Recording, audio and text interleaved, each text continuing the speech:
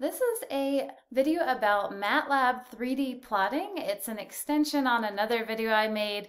I had a subscriber send in a question and they were asking, given certain data in this format, so they've got some X, some Y, some Z values, and then an ideal color for each of those. So they gave me a couple sample points and asked if I could help them do some 3D graphing with those. So I thought I would do a video on that.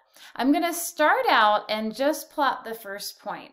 So this is going to be a plot three because we've got three different values, the X, the Y, and the Z. And I'll pass in each of those.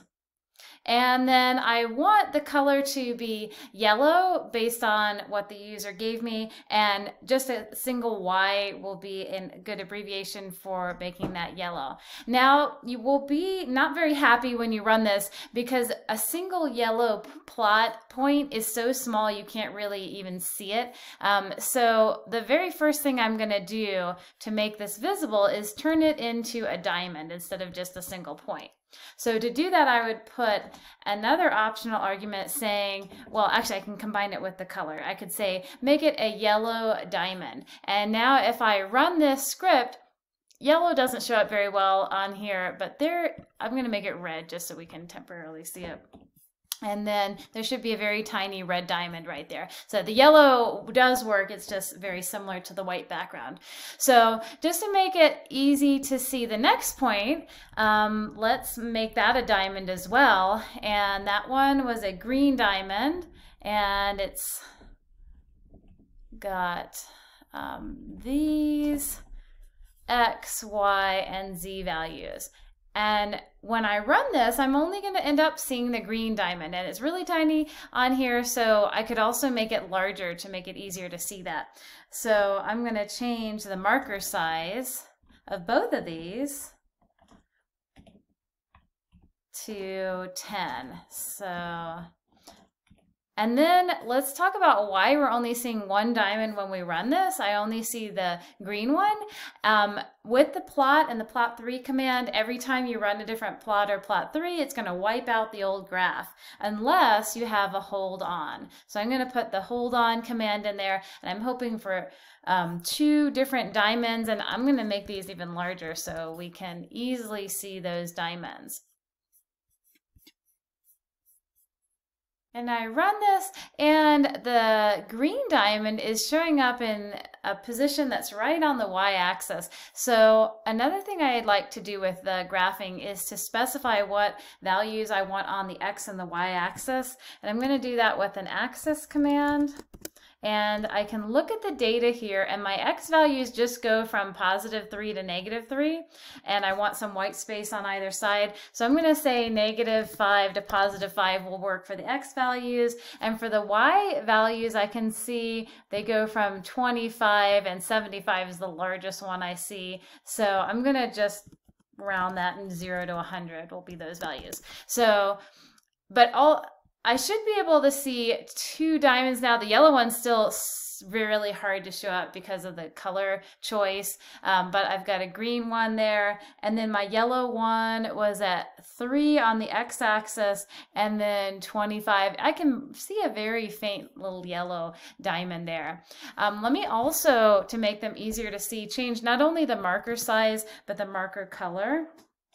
So there's a marker face color and I'll have that match the color of the outline of the diamonds. So yellow for the first one and green for the second one.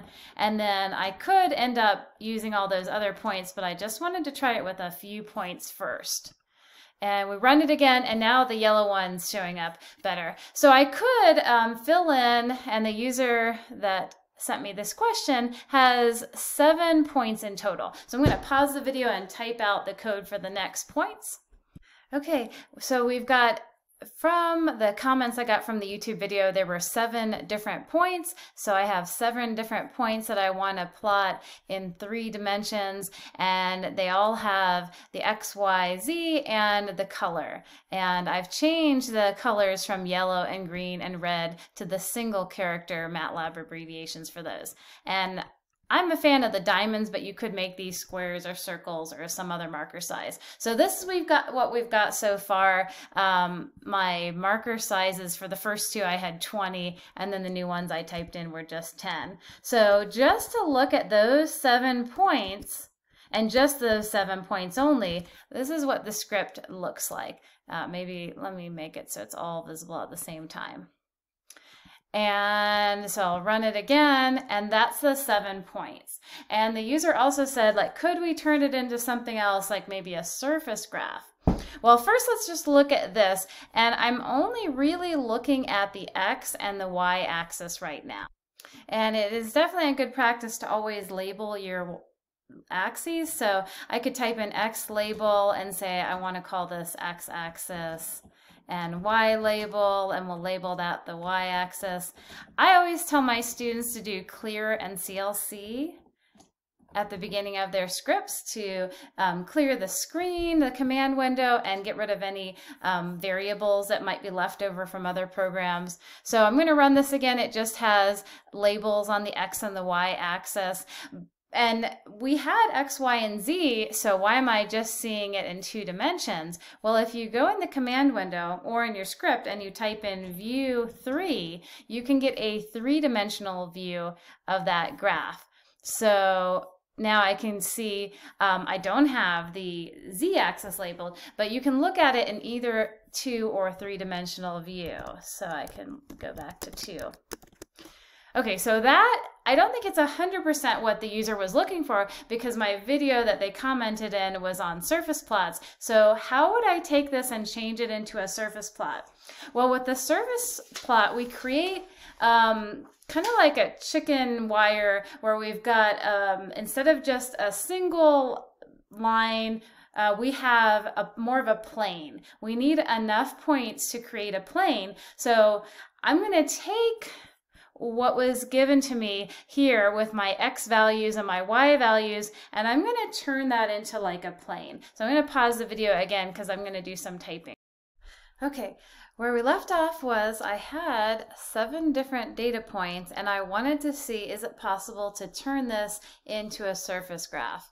So I took all of my x values, the very first values here, and made a vector that just is all those x values. I did the same thing with the y values and, and the same thing with the seven z values, but I'm not really going to use the z values right away.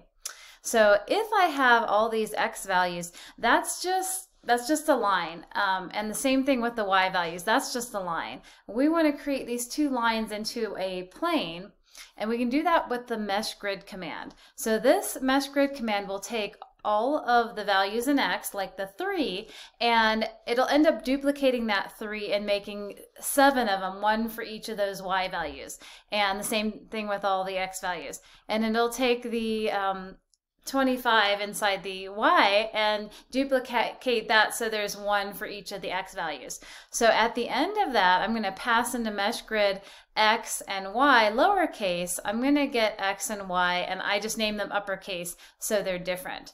And if you look at your x values, um, capital X values, it's a repetition of the the lowercase x values, only you've got one for each of those seven y points. And the same thing with y. We started with this y, and our uppercase y is this.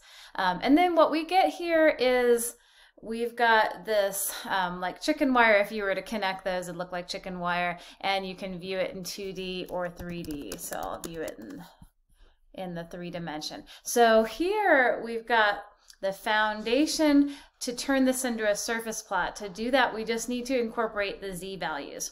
And here's where I kind of went beyond what I was given. I got the z values, seven of them, and they're in a vector here, but that's just going to be a line and we need a whole plane. We need a z value for all of the 49 different x and y values we have. So how to turn this z into 49 different z's? Well, I went ahead and said, well, let's make capital Z the same thing as if I use the ones command, that'll create a seven by seven grid of just the number one, but I could multiply all of those values by the, the z values that we have here. So ones with just the seven, I just get a bunch of ones. But if I multiply it by um, the z's I'm given, then I'm going to repeat each of these z values I was given uh, seven times for each of those. So we have 49 different points. And if we have all those, and we don't have to just plot using x and y. I can comment this line out and we can now, we now have enough to do the surface plot. So I'll do surf and then x, oops, x and y and z.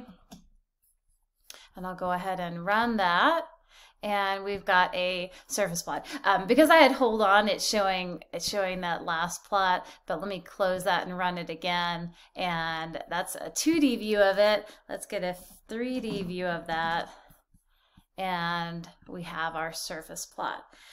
So with the surface plot, it's just using the default colors. It's not taking into account the yellow and the green and the red and the blue, etc. that was given here.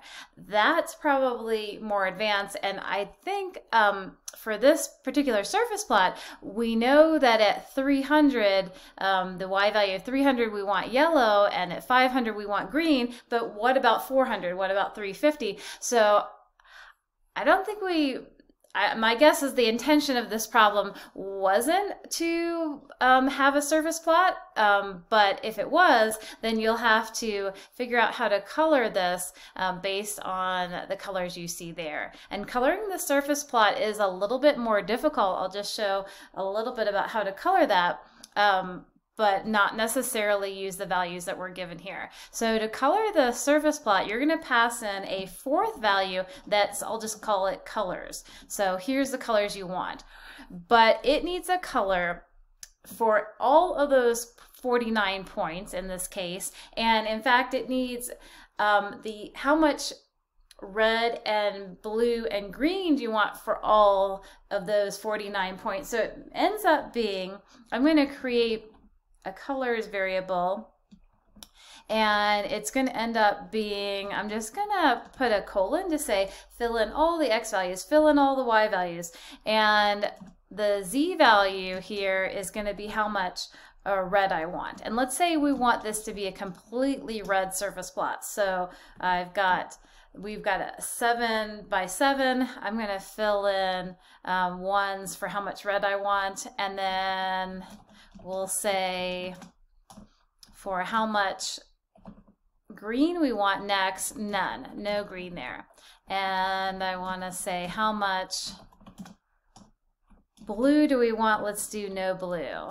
And if I run this, um, what I did here is create, um, it's actually, if we look at the size of that, the size of the colors, vector, it's a 7 by 7 by 3. So for all of the 49 points, there's actually three different values. How much red, how much blue, and how much green do you want? And we look at this by passing in that vector of colors, we ended up making them all red. If we wanted to change and make them all instead of red, I'll make that as zeros here and say, let's make them all green, I could pass in that. So we could individually color the different panels of here, but that's going to be a little bit more work and the video is already getting pretty long. So I'm going to stop right there and hope that that is a hint to the person that was asking the question. All right, if you like the video, go ahead and hit thumbs up and subscribe and uh, have a great day.